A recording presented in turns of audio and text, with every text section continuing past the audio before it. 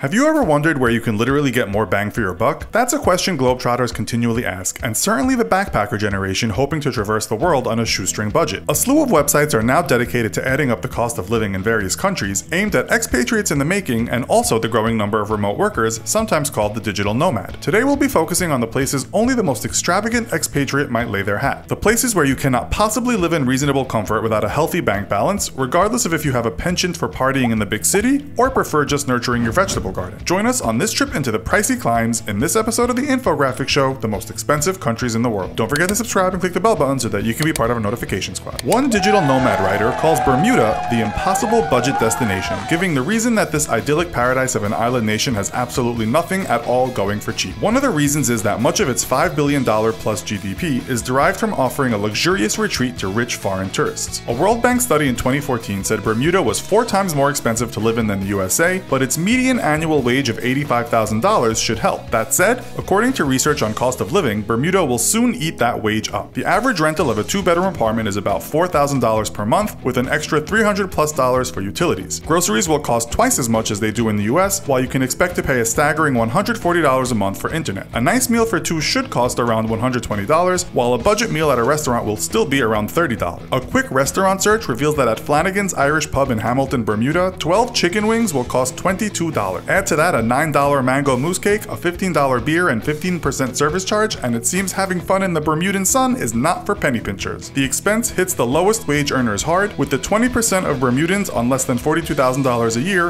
according to one news article, not even able to purchase the basic necessities for their children. If you've ever seen our other shows relating to money, you'll know Switzerland is notoriously expensive, where finding goodies for $1 might mean having to settle with dog food, and where a Big Mac holds the esteemed position of being the most expensive in the world. According to a salary survey report, the Swiss are the highest paid people on the planet on average, with the average wage being a little over $100,000 a year. The same survey put Norway in second and the USA in third. Low paid workers in the country earn considerably less than the average, with domestic workers' wages being around $2,900 a month. While the impression we may sometimes have of Switzerland is everyone living the good life, yodeling the sounds of comfort from snow capped peaks of prosperity, reports suggest 1 in 13 Swiss people live in relative poverty. Relative poverty, however, does not equate to near starvation, but a person living on less than $2,466 a month. Considering Switzerland has some of the highest rental costs in the world, the amount would not go very far in a city like Geneva. According to McDonald's own website, at one point in time, 7 out of 10 of its busiest outlets in the world were in Hong Kong. This might have something to do with McDonald's being one of the only cheap places to eat, with a combo Big Mac meal in 2017 only costing $4.64. The average wage in Hong Kong is around $3,500 a month, but with so little space to move, a tiny one bedroom shoebox apartment downtown will set you back a lot. We went online apartment hunting and found that furnished apartments downtown at the low cost end of the scale were around $2,000 a month. A larger place for a family would take up most of your $3,500 average wage. As we said in another show, even a parking space this year was sold for $664,000. Nightlife is also very expensive, with a meal for two in a mid range downtown restaurant costing around $60. A pint of beer will cost over $10, and that's why many Hong Kong expats only go out during happy hour periods. According to expat cost of living site Numbeo, the same McDonald's combo meal you you had in Hong Kong will cost you over $12 in Norway. Rent should be cheaper though, with a one bedroom apartment downtown costing around $1,200 a month. Salary polls tell us the average wage in Norway is around $68,000 a year, and while there is no minimum wage, it seems most workers do okay. Even a McDonald's starting wage is more than $18 an hour, and with that, there is 25 days paid vacation and 12 days in public holidays. You'll pay high taxes in Norway, around 30% income tax, but you'll also get full healthcare for free or next to nothing. Norwegians like to say they are proud of their egalitarian culture, and while a hot cappuccino might cost almost 5 bucks, there is very little relative poverty in the country. At the same time, a 2016 report said more than a third of immigrants in Norway lived in poverty, while the number of homeless people was growing due to high housing costs. In 2017, the Iceland Review asked if Iceland is the most expensive country in the world. It gives some examples of how much more its citizens are paying than EU countries. It said Icelanders pay 44% higher than the EU average for accommodation and eating out, 52% higher for transportation, and a whopping